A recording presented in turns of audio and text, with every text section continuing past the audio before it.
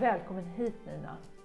Tack. Eh, Vi är så himla glada här på Alzheimerfonden att du har sagt ja till att bli ambassadör för oss. Det betyder jättemycket. Tack snälla du. Eh, Alzheimers sjukdom det är ju en nedbrytande hjärnsjukdom eh, och det är en folksjukdom faktiskt som drabbar så många runt om i Sverige. Den går ju faktiskt inte att bota ännu och det finns ju inte en riktig bromsmedicin. Det finns symptomlindrande medicin men inte broms på det sättet. Eh, och därför jobbar ju vi här på Alzheimerfonden intensivt med att försöka samla in pengar till förmån för forskningen så att forskarna snabbare ska kunna hitta ett riktigt botemedel och riktiga bromsmediciner. Eh, och, eh, det är ju många som drabbas eh, och många som drabbas vittnar ju också om att det finns ett stigma runt Alzheimers sjukdom. Och det är ju inte bara äldre personer som drabbas utan det är faktiskt en hel del som är mitt i livet, precis som du är Nina. Eh, Det, min man Daniel har ju också drabbats av Alzheimers sjukdom mitt i livet. Eh, Så jag har en, en viss aning om vad det handlar om. Och jag tänker att ställa lite frågor till dig Nina. Du fick ju din Alzheimer-diagnos 2020 Mm. och då var du 65 år, Ja, mitt i livet. det är livet. Mm. Ja. Hur var det att få ett sådant sjukdomsbesked för dig då? Det var fruktansvärt. Eh, Jag hade väl haft någon aning på det eftersom jag har eh, känt att jag glömmer saker. Men å andra sidan så säger, sa alla andra att ja, men det, gjorde jag, också- det gör jag också. Och det är i den åldern som man, som man är och det är klart man glö- glömmer alltså. Men när jag fick mitt besked så var det ju, då var det bara döden med en gång.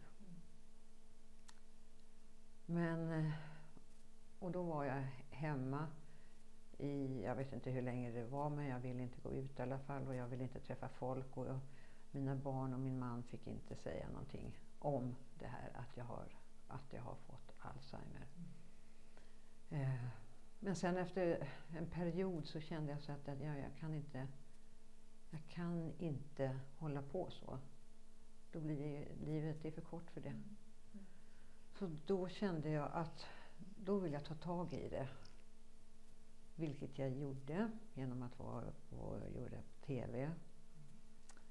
Eh, med min guddotter som också hade, inte Alzheimer, men, men hon hade andra problem. Eh, och efter det så känner jag att, att jag kan vara glad nu. Och jag vill jobba för att eh, vi ska få in lite mer pengar. För Alzheimer. Det, eh, det måste göra det och jag vet att det är så. Nu är det inte bara äldre som får Alzheimer utan man kan vara mycket, mycket yng- yngre. Vilket jag aldrig trodde. Så att eh, ja, jag hoppas verkligen att, eh, att man kan göra någonting. Via forskningen då, precis, och Ja. komma vidare. Och när, ehm, alltså, vad hände den, alltså den tiden precis när du hade fått bekräftat att du var Alzheimers Mm. sjukdom? Vad, hur var tiden direkt efter det för, för dig? Och, Alltså jag kommer nästan inte ihåg någonting. För att jag hade sån fruktansvärd eh, ångest. Det var verkligen så. Det var, jag ville absolut inte träffa någon. Jag tyckte det var genant på något sätt. Och jag fattar inte det därför att alla sjukdomar kan man ju tala om. Flesta. Jag har, jag har fått eh, ja, olika. Men just Alzheimer var, jag vet inte, det var någonting som kändes att, nej, att jag skämdes för det.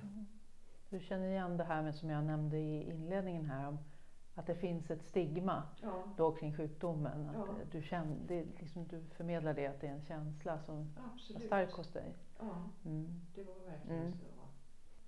Och eh, jag kan ju komma ihåg där när jag skulle eh, vara ute eh, på att handla och så skulle jag skriva under någonting och jag såg inte, jag visste inte vad jag skulle göra för någonting. Så jag bara plutt en liten sak bak och så sprang jag ut ur affären. Eh, och, och grät. Och kände liksom att... Och sen skillnaden då, nu, efter det här, att när jag har berättat det här, så, så, är, så kan jag säga det. Ja, jag skriver under, men jag kan inte skriva tyvärr. Kan du hjälpa mig? Jag har Alzheimer, kan jag säga så. Och sen är det inte något mer med det. Så jag skäms inte ett dugg. Så är det ganska, är det ganska förlösande då, Ja. befriande för dig att du har liksom satt ord på det och berättat det här? Jag tolkar det så. Ja, Mm. Mm. verkligen alltså. Mm, Fint att höra. Och eh, man tänker så här att eh, innan du kom iväg till läkaren, och när, alltså, vad var det som gjorde?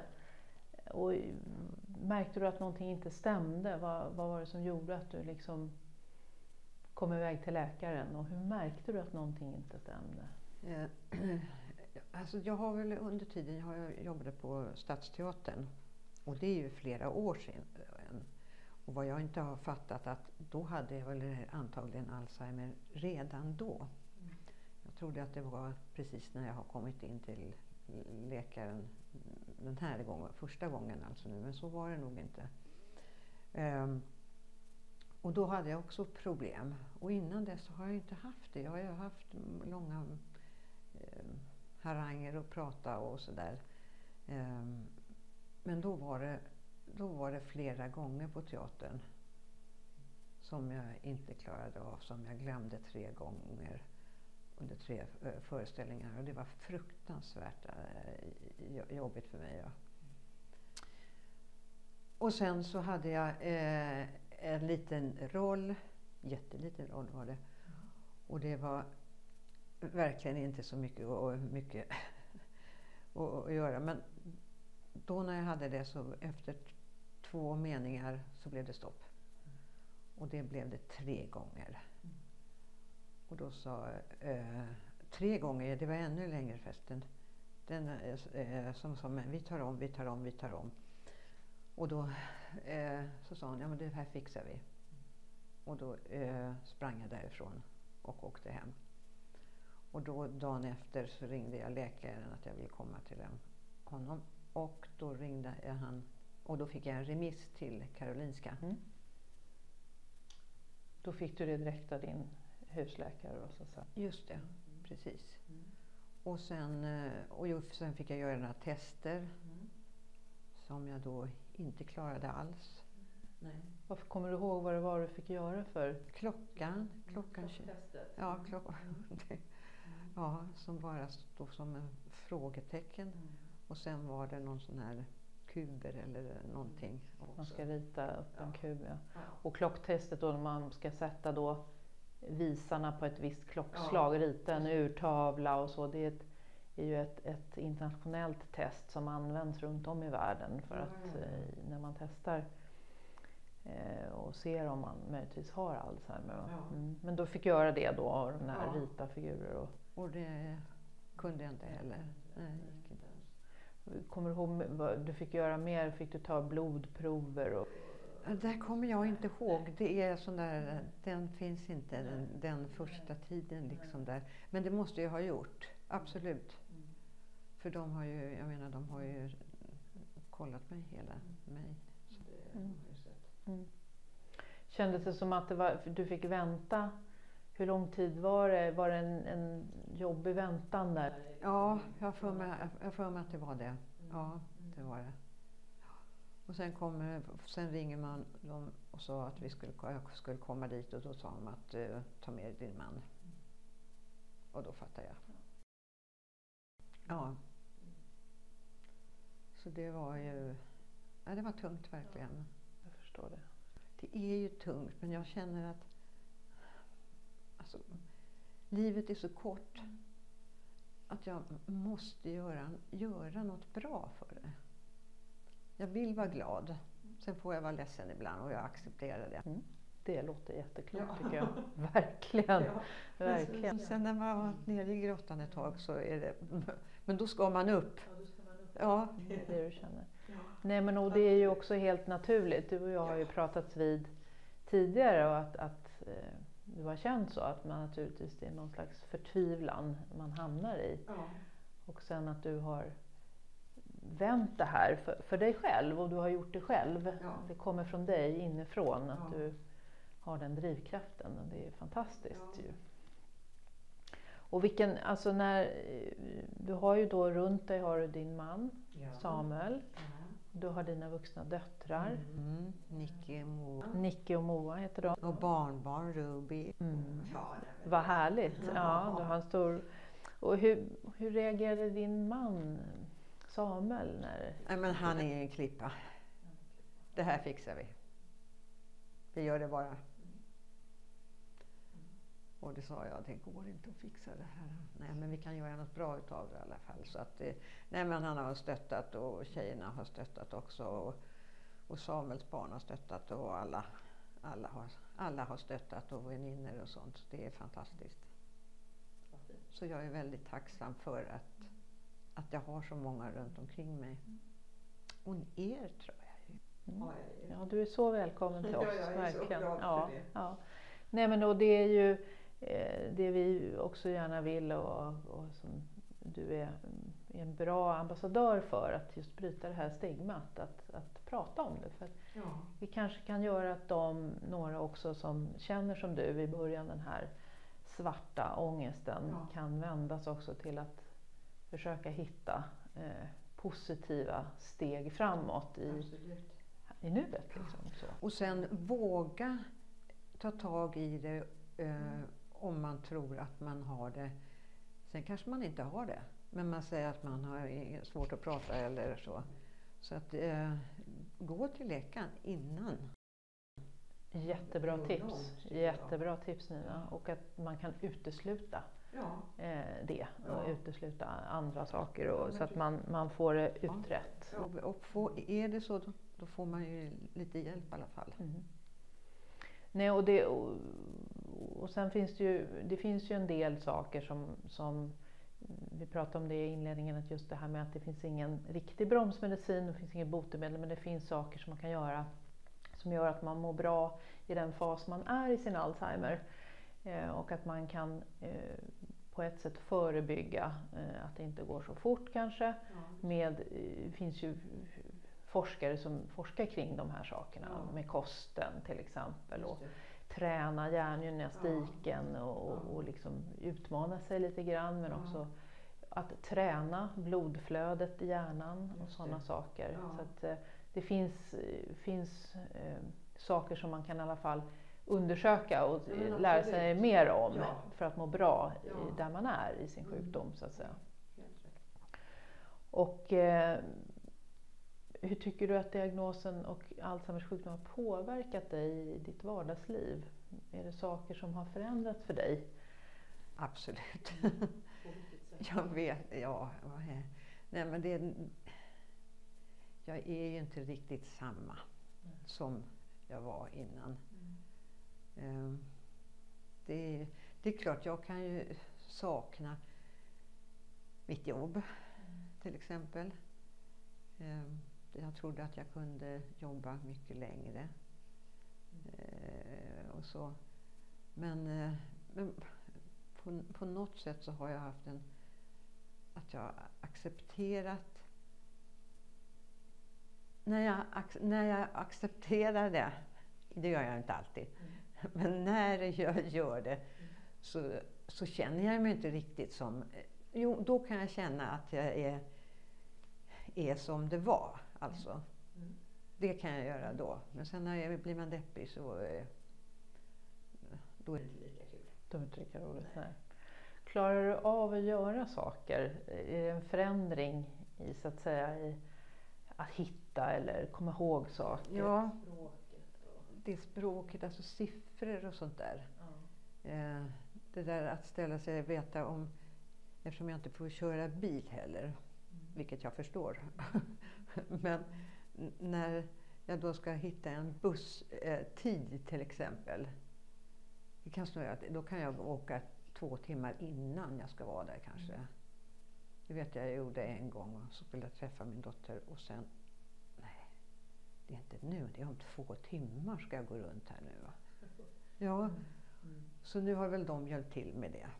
För då säger de till att ja, nu är det, tio minuter innan du ska åka och så får jag lite hjälp om jag vill. Och, så. och skriva har blivit ju mycket jobbigare också. Ja, läsa kan jag men ibland får jag liksom inte ihop. Eh, om jag är trött så, så är det jobbigt. Ja. Så jag, har ju, jag lyssnar ju väldigt mycket. Du lyssnar på alltså böcker? Ja, ja, det älskar jag. Ja, det gör jag. Och så läser jag ibland sådär. Jag försöker läsa och jag försöker göra kryss, vad heter det? Korsord. Korsord. Korsord. Gör jag lite och så.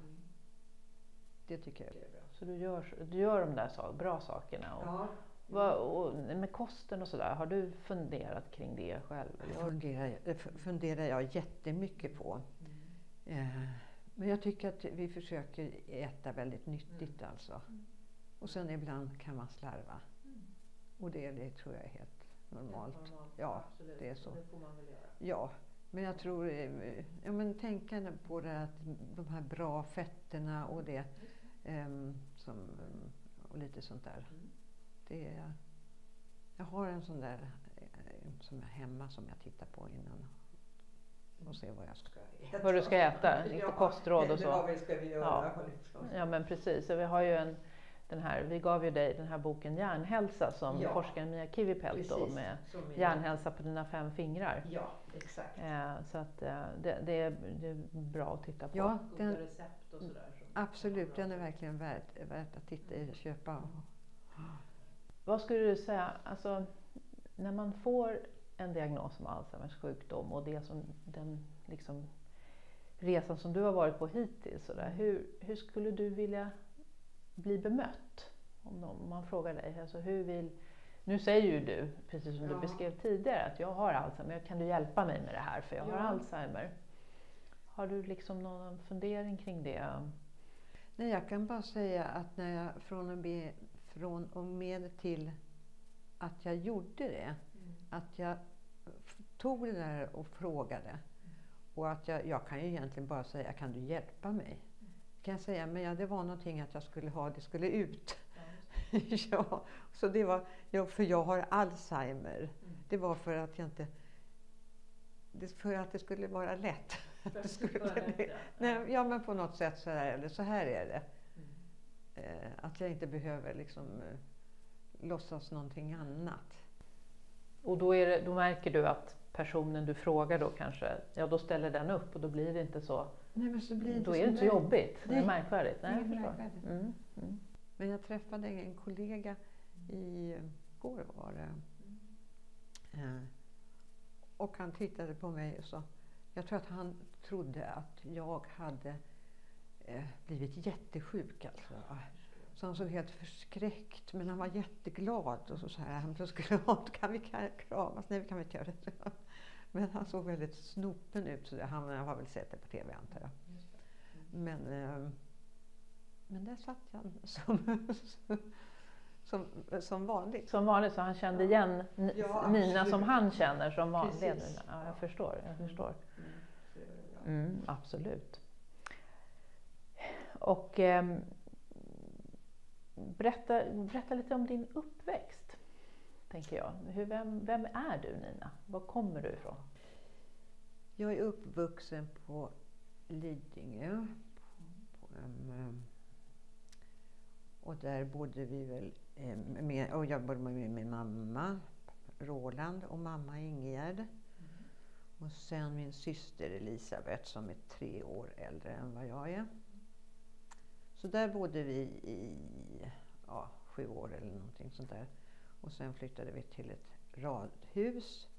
Och då eh, har vi, tog vi en, adopterade vi en, en flicka från Korea. Eh, och, så, och där växte jag upp. Eh, och eh, som liten så tyckte jag om teater. Så jag tror att jag började när jag var fem på en teaterskola. Ja. Samtidigt som jag var fruktansvärt blyg. Så det, det går liksom går inte ihop egentligen. Nej. Men, mm. Men eh, sa någon att jag, jag vill, tyckte inte att vi skulle gå bort och äta. För jag tyckte vi hade mat hemma. Och fika hemma. Så det var onödigt tyckte jag. Så då stod jag bakom, mm, ja, visade inte mig. Först någon sa så här, Nina ska du inte sjunga en sång? Jo, jo det kan jag. Och så sjöng jag. Och så Så- sjöng du. och så gick jag tillbaka sen. Konstigt, konstigt barn. Och så. ehm, ja, vad kan man säga? Från det här teater då, började teaterskolan när du var fem och så växte, liksom, blev du äldre och fortsatte du då med? Ja, och då, ja, då var det teatern som jag mm, eh, jobbade på eh, Dramaten som plå- påklädare. påklädare ja, och såg alla pjäser hur många gånger som helst. Älskade det. Ja. Och sen gick jag vidare då och eh, sökte. Så på andra omgången som jag sökte teaterskola så kom jag in i Göteborg. Mm. Scenskolan i, i Göteborg? Ja. Mm. Så det var ju toppen. Och då fick jag faktiskt Nicky när jag gick i andra. Men det gick, för så då var min lilla syster kunde hjälpa oss. Ja, så då var hon med i Göteborg och jag kunde plugga vidare. Och så. Vad roligt. Så du, du fick liksom, du började teaterskolan när du var liten, väldigt liten, fem år, och sen Ja. kunde du odla intresset och, och liksom verkligen få upp det rejält genom att jobba bakom scen så att Ja, säga. det. Ja, vad spännande. Ja. Mm. Och sen så satte din skådespelare...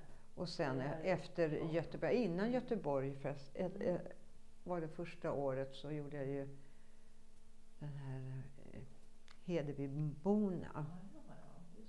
Eh, och sen gjorde jag väl den i tre år. Men då kunde jag gå på, eh, på skolan i alla fall. Fast jag hade, så det, vi gjorde det på sommartid och så.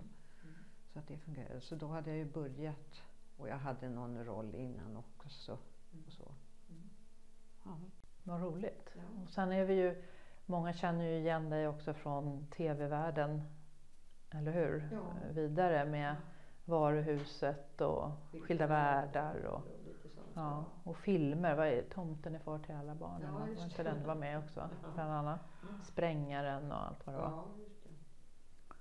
Ja. Men så att, eh, och den eh, skådespelar livet så att säga. Mm. Eh, Och då, då finns ditt intresse kvar? Alltså tycker du om att gå och se? Absolut. Ja, det tycker jag. Ja. Jag blir lite avundsjuk. Jag förstår det. Jag förstår det. Bara lite. Det var lite. Ja. Nej, men det gör jag, absolut. Jag går- jättegärna på det. Teater och så. så det, det är härligt. Ja. Hur ser en dag ut i ditt liv idag? Alltså en vardag? Ja, en vardag. Så, ja, men då är det jag eftersom Samuel jobbar. Ja, och jag går väl upp, jag vaknar väl sådär tidigt, ganska tidigt. Så jag är väl uppe sju, halv åtta sådär. Och sen äter jag frukost och sen går jag på en promenad. Och just nu så håller jag på att pyssla med eftersom jag ska flytta. Så nu ska jag röja. Oh, så skönt det ska bli. Men annars så... Ja. Kanske någon som kommer och hälsar, hälsar på och så. Ja. Jag gör inte så mycket Nej. egentligen. Nej. Du får dagarna du fyller dagarna med få saker då. Ja, så att säga. det ändå. Men vad spännande att, du, att ni ska flytta då. då har, det är mycket att fokusera på. Ja. Du blir inte stressad av det då? Att du ska Lite packa ihop och rensa och grejer? Men, Mm. men, men eh, rensa är ju härligt. Ja, det är skönt? Underbart. Mm. Då är det, passar man på när Ja. man är ensam hemma. Ja men precis, och då märker inte Samuel när du Ingen slänger allting. något. Det är jättebra. Men vad kul. Och eh, om man tänker då eh, den närmaste framtiden och eh, nu har du ju liksom som sagt är inne på din resa i sjukdomen Alzheimer eh, och sådär. Vad, ehm, har du några tips och råd hur man kan tänka då när man får en Alzheimer-diagnos och är mitt i livet till exempel? Till andra som får det. Vad skulle du ge för råd till Alltså de för, personerna? ja, alltså först tror jag att man måste få ut det i kropp och själ. Att få vara ledsen och... Eh, ja, det tror jag. Men sen att man inte stannar inne för mycket. Alltså, nu menar jag med att göra någonting. Pyssla med något. Det har jag också gjort i den perioden eh, som jag egentligen var väldigt bara ledsen hela tiden. Så hade jag sådana som jag bara satt och målade saker som jag fick tips utav. Och, och pyssla, i- alltså göra, bara göra någonting eller försöka läsa någonting. Och, eh, så man slipper tänka så mycket på andra saker. Ehm, ja. Och ljudböcker är en sån här grej som du... Jag tycker det är underbart. Ja, just det. Och jag känner ju nu att jag är... eh, Jag, jag blir ju väldigt trött alltså. va. Ja, och jag vet inte om det har med Alzheimer att göra eller hur det är. Men eh, och då har jag börjat med att så får jag, jag som aldrig har vilat. Alltså härjat hela tiden. Det, det, nej, men det är ju jag alltså egentligen. Fast nu försöker jag varje eftermiddag liksom lägga mig och så ligger jag och lyssnar. Och det tycker jag är, då får jag lite vila. Underbart. Ja. Nej, men och vila tror jag att, eh, det känner jag igen det. Det är viktigt och jag tror att hjärnan jobbar ju på högvarv för att, för att synapserna i hjärnan ska ha en chans ändå, trots att det är skador i hjärnan, att, att, att jobba för högvarv. Så det är klart att man blir jag förstår att, att man kan bli trött. Jag känner också igen det i min man Daniel. Som Ja. Man kan bli, känna sig jättetrött vissa delar av dygnet och sådär. Men eh, det var jättebra tips ju, tycker jag. Det här med Ja. att försöka göra, pyssla med något. Pyssla med något. Det spelar ingen roll vad det än är, lera eller gör vad som helst. Bara. Promen, absolut promenad. Ja, men det är alltid bra efter man har ätit frukost. Eller om man är inte... Men eh, att man har gjort det i alla fall.